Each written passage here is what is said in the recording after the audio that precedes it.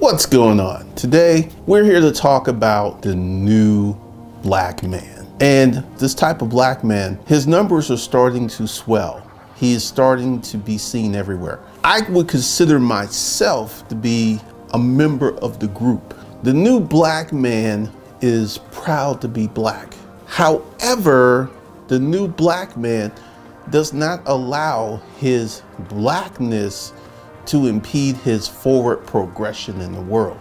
I remember when I first moved to the neighborhood, I saw this black man with his Asian wife in Whole Foods. And this woman is bad as the day is long. She is feminine, she is petite, she's in shape, and she is gorgeous. And he was with her and their two little kids.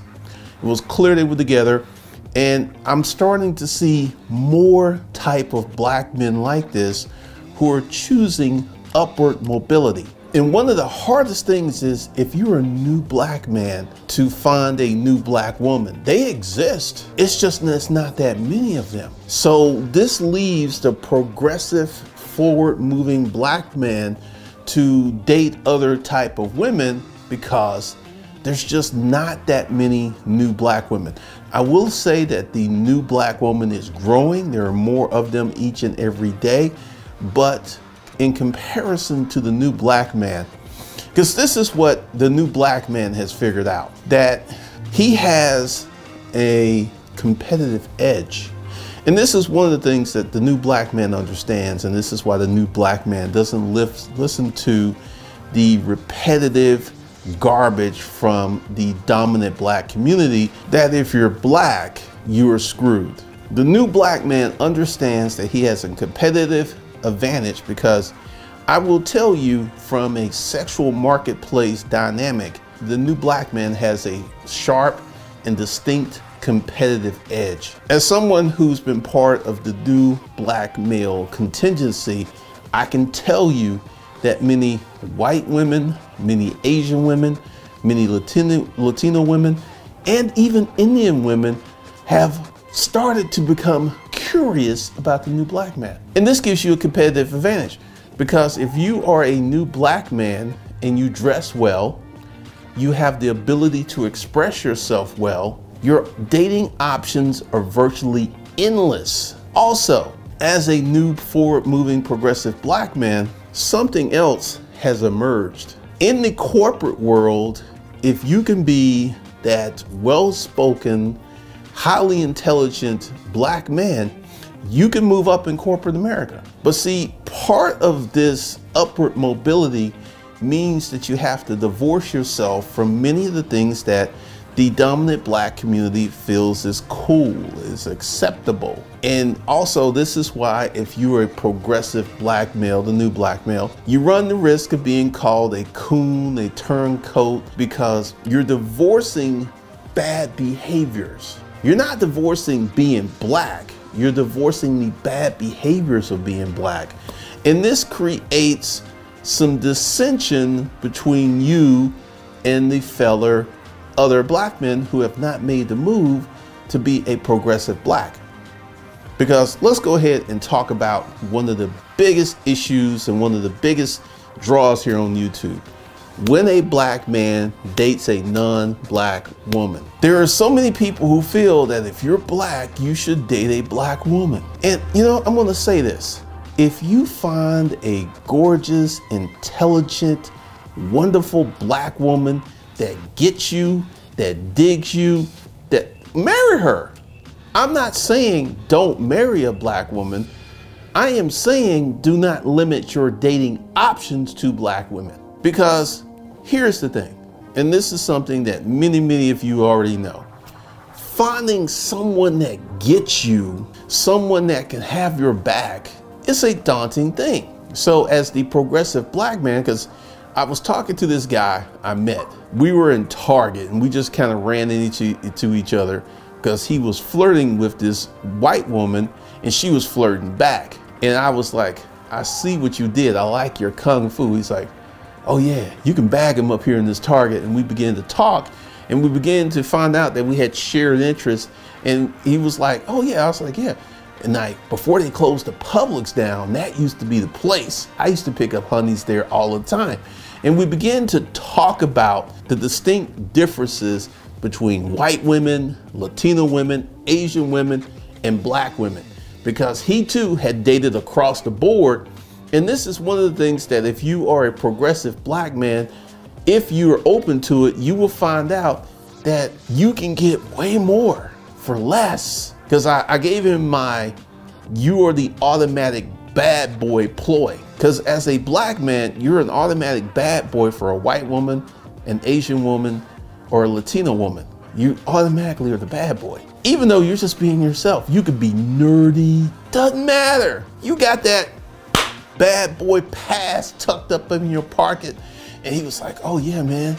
It was like, oh, and they're so submissive. And one of the things, and then also we began to speak professionally and he was a VP at Mercedes Benz. And we begin to talk about that now, talking about, you know, when I had a job and everything. Really, really cool brother. We had a wonderful conversation because he, like I, has observed the options that are open to the progressive black male. I mean, literally, the world is your oyster. And also, he talked about some of his stuff with his family, how some of his cousins didn't understand why he was messing with all these white women when there were all these perfectly good sisters. See, when you're progressive and you live in truth and you have a fundamental understanding of how the world works, you know that there are options out there for you, that there's different things you can do, there are different things you can put together. And there are so many people who are who have a fixed mindset because this is just another uh, attribute of the new black male. It's a progressive, flexible mindset, not a fixed mindset. Because the fixed mindset says, man, you black, you need to find you a sister. There ain't nothing better for you than a sister.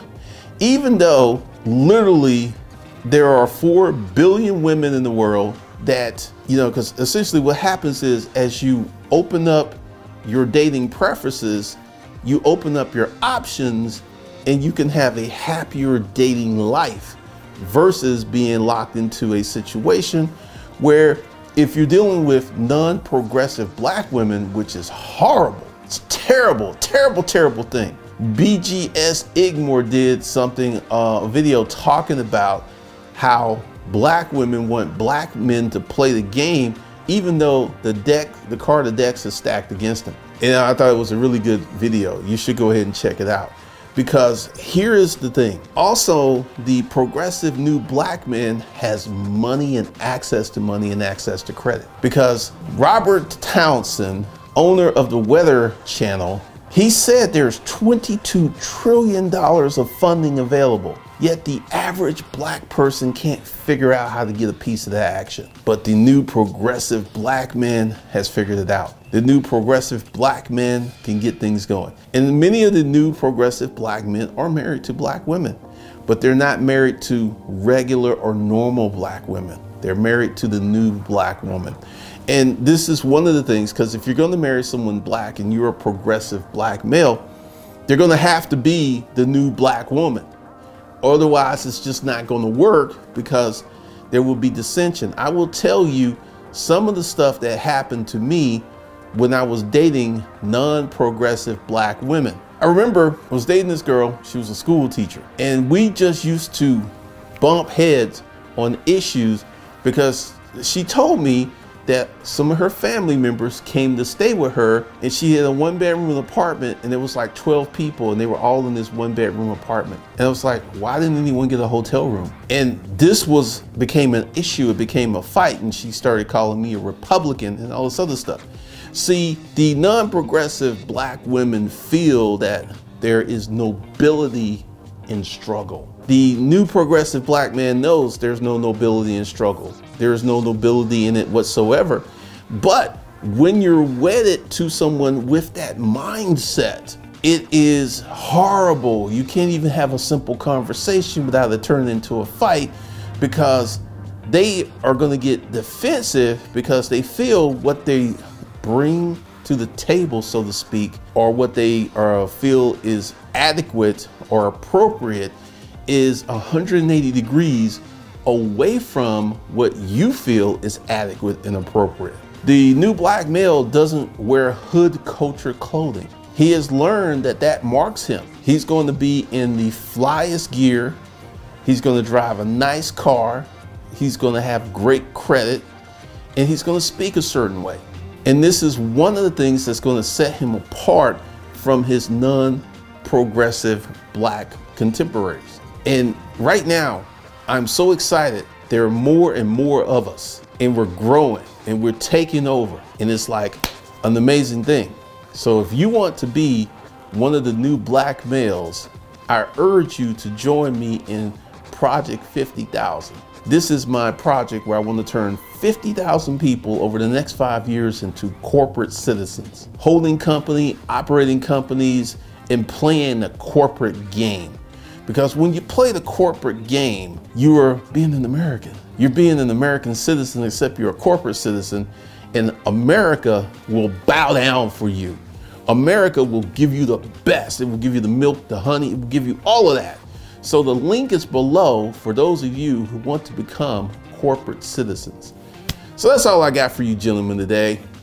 Be well, and I will see you in the next video, which should be right about here.